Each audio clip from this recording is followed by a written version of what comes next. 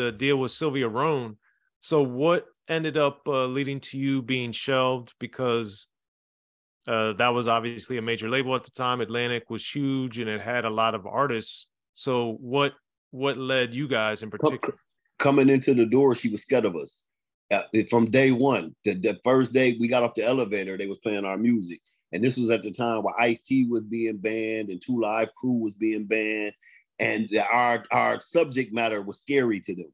That is one once you know us talking about snorting cocaine and all that, they was instantly afraid of us anyway. So she was talking about establishing a new label, a subsidiary, and launch our album as the first album on her new label. And when that didn't come to fruition, that's what shelved us. You know, she never had intentions of, of releasing us on Atlantic, the parent company. She wanted to, you know, do a subsidiary, smaller label and let the Dayton family launch that, you know, which could have been a beautiful thing for us um, had it happened. But she they coming in the door, Atlantic was scared of us. It wasn't a place for our type of music. Atlantic wasn't ready for us.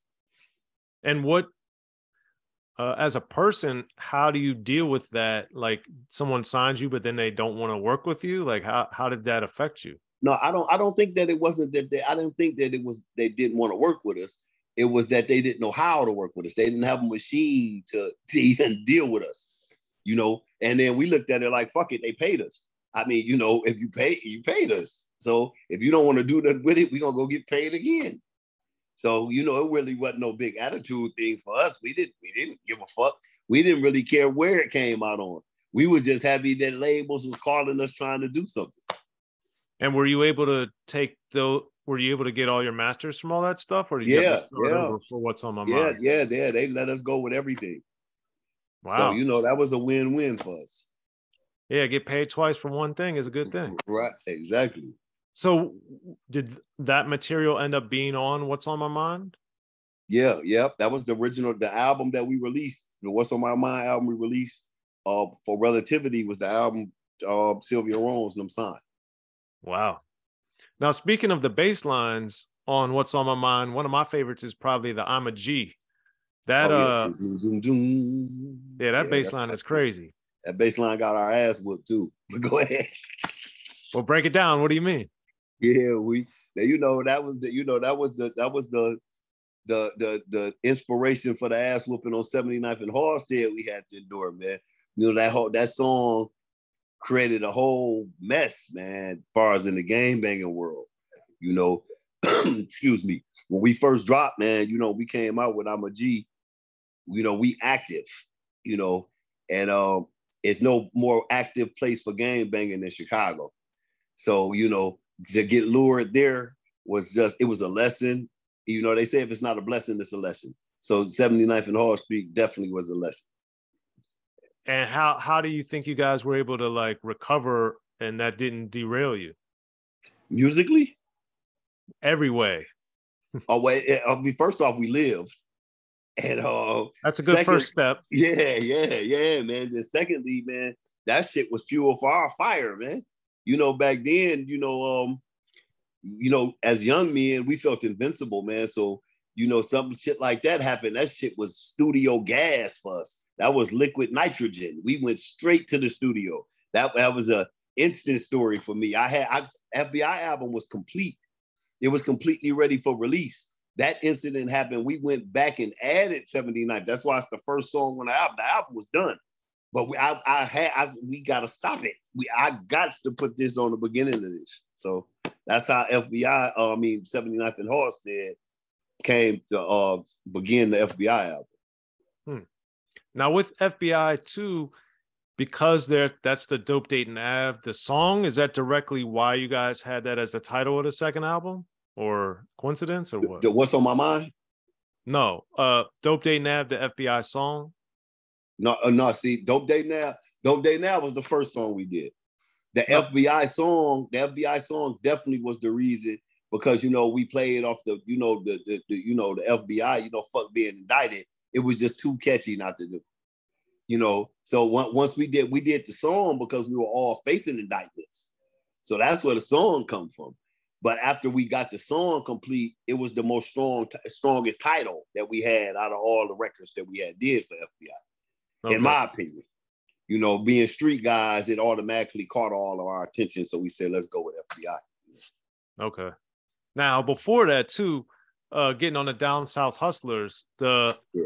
with Master P, and it's the first song, the Stick and Move. First one, yeah. We always get the number one song. So how how did the connection with P happen, and how'd you end up on that project in particular? See, back in the '90s, man, you have you have um, lots of record stores, man. You had mom and pop record stores, and you know everybody. You know, it was it was dozens of um, stores that sold CDs and tapes, man, back in the '90s, man. And um, record labels would reach out to the store owners. You know, what's hot in this area? What's hot in this region? They would call around that way. And that's the same way that major artists would get in touch with other artists through the mom and pop stores. So they um Master P reached out to Nice's Records and Tapes, an Italian record store that was in Flint, Italian guy in Flint, and uh, he plugged this man. And then they went through Po' Broke Records, and we already had the song done. The song was for our album. Um, it was for our album, and um, we submitted that one because it was so rough. We knew that people want some South hard shit, so we submitted that, and he instantly loved that one. And what did you notice that was different getting on that compilation and getting on a project that had 8 and MJG and UGK and Ma- Master P himself, C Murder. How did that uh, change how you guys were perceived or give different visibility or what? Yeah, I mean, you know, um, me and String always knew, man, uh, we didn't really focus on who was on it because we knew that we was gonna stand out no matter what artist was on it. We that's just the way we felt. Our attitude was we gonna make uh, our music is good enough and strong enough to compete with any other artist that's in the game, you know. And that's the way we always felt. We treated it that way. So when um when we submitted that record, we knew it was strong enough. We knew people was gonna have some strong shit on there from the south. So when we did that, we said, okay, stick and move. That'll hang with anything. This hook right here is so fucking slick. It'll it'll it'll do what it needs to do. You know. So that's how we that's how we looked at it, you know. Okay. And with this and your visibility is increasing, but then the indictments and different things were happening. Do you think the visibility of the music hurt you guys as far as the oh, definitely? I mean, no, as far as legally, but the, the music definitely brought law enforcement attention because we the shit we was talking. See, unlike a lot of groups, we were actually doing it. So so so so when we rapped about it, they like, whoa, whoa, what the fuck? These motherfuckers is actually doing this. They actually selling drugs and shit. They actually shooting at people. This shit is real. So once it, it became the music just brought law enforcement attention in the way, like, let's look into this. Is these motherfuckers just rapping or is they is this actually a clique of motherfuckers doing this? And um once they looked into it, they oh no, we can't let this shit happen. These the most popular motherfuckers in the city and they criminals. So that's kind of where it went. You know, we brought we brought the music. A lot of the guys we associated with that sold drugs were low key. They they were invisible. They were they were on pictures and videos. Then when we came and they tried to make the transition to a legit lifestyle, they wasn't going to let them transition. Right. Law enforcement wasn't going to allow the transition to take place. Hmm. Yeah. So with with Backstabba and different things happening, like creatively, business wise? How did that affect your relationship with relativity? How did you, you know, getting ghetto E in a group and all these different things? Like, how were you yeah. navigating yeah. all this stuff? Oh man, we shit, man. We went, we we just stepped out there and did it how it come. We took it on the chin how it came. So if it was a necessity, if Matt left, we had to find somebody else to finance. We got to do it. If I get locked up, ghetto E, you got to step up. We got to keep the train rolling no matter what. The train got to keep rolling. And that's the attitude we had. Where nobody was more important than the next person. If he gone, you got to step up. If if something happened to him, you got to step up. And that's just the way we move, man. That's the way we looked at it. you know, nothing was pre-planned or or we thought about it or discussed it. We just automatically instinctually knew that if something happened, you got to do what you got to do. That was just the way it was. It was like an unspoken thing, but we knew what roles we played our positions were. We knew what what, what positions we played. So uh, originally, and then as things evolved up to FBI, how would you say your role was at the beginning, and then what it evolved into around this '96 era? Well, you know, in a, in a, in a, I always been on the front line, man. You know, uh, with everything from from you know the to, uh, creating the titles for the songs.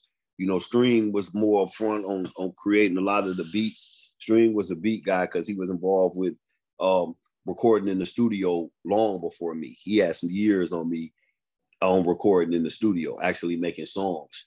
So um, he um, like I said, it was more of a do what you need to do, whatever you got to do to make it successful. If you got to do the hook on this one, you do it. If you got to rap first, you rap first.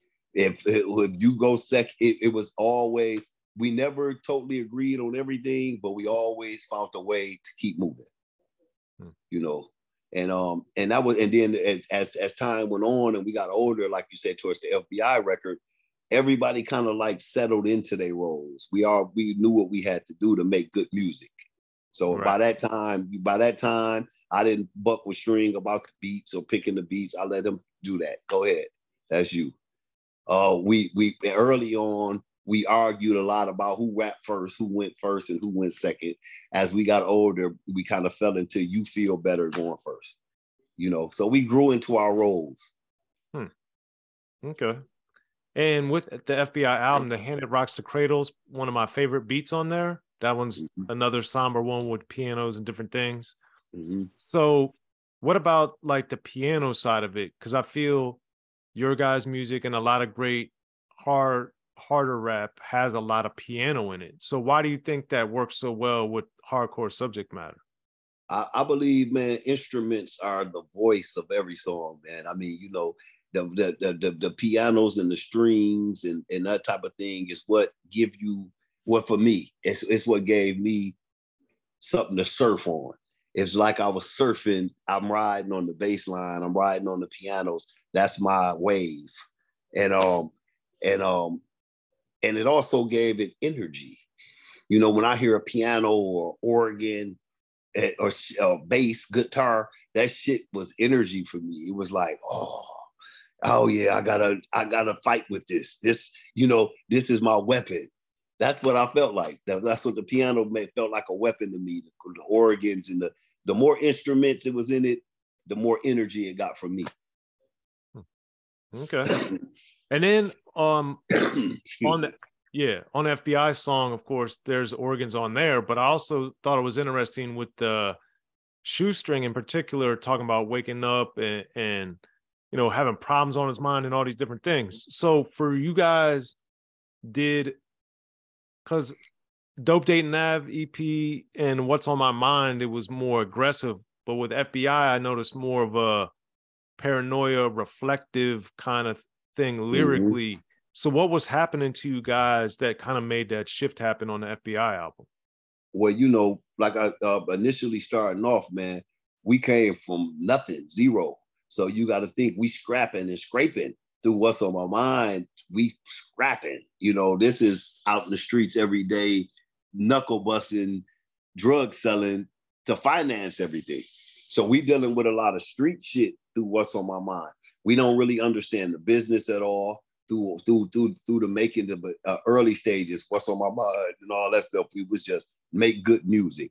Fuck the business. We don't give a fuck about the money. We got our own money. We don't fuck the industry money. We gonna just sell dope and just rap about the shit we live in and have fun. See, what's on my mind was fun for us. We was just doing living and rapping. That's what we were doing, living and rapping. FBI life began to show itself to us more. Uh, you know, we didn't understand the way law enforcement moved and the way that they could be dirty, the way they was, the way the system was, was starting to reveal itself. Both the in music industry and the legal system was revealing itself to us, and we was becoming aware that it was traps and it was it was it was things that we were overlooking in the process of having fun. We was overlooking a lot of the traps and a lot of the, the shortcomings of the game. So um, as we begin to see those things, that's why the FBI album may feel a little more mature than the What's on My Mind, the earlier stuff. And what what were you looking over music wise, music business wise, and in the streets? Like what was happening? I mean, you know, like in the music industry, man, you know, I, we weren't paying attention to paperwork or publishing rights or none of that shit, man. We just wanted to make good music. Our whole focus on music. I, I you know, I it was so many situations that I didn't even sign paperwork. Let's just do it. You know, I was that type of spontaneous. If, if, it felt good to me, I lived my whole life kind of pretty much that way. If it felt good, let's do it. You know, fuck it, we'll worry about the paperwork shit later. If, it, if you fuck over me, I'll fuck you up in the streets. That's the way I felt. You know, I felt like, well, ain't nobody gonna fuck over us. We us. You know, and uh, and and with the with far as uh with the um industry, with the with the streets, I mean, with the street stuff, we didn't realize how how snaky the streets could be and how clingy people could be till they use you up, till you dry it out. You know, people would cling to us, and we were surrounded by hundreds of people that didn't mean us no good. We were surrounded by snakes and scorpions and wolves and rattlesnakes, and it was just all around us. And we were just walking around it, tiptoeing around it, jumping over it, pushing it to the side, you know. And it, it really didn't start to bite us Mm-hmm. until we was able to see it. Maybe it was biting us, but we didn't feel it. That's maybe the best way I can put it.